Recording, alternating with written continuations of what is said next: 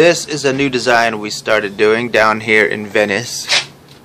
It's all redwood fencing. The top is more open to let some light in.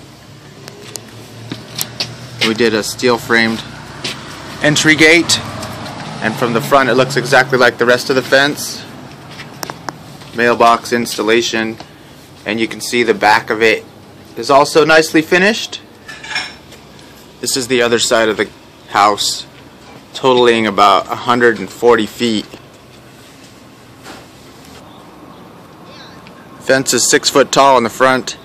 We had to cover up the concrete down here on the bottom because before there was just steel railing everywhere and now it looks super clean from top to bottom.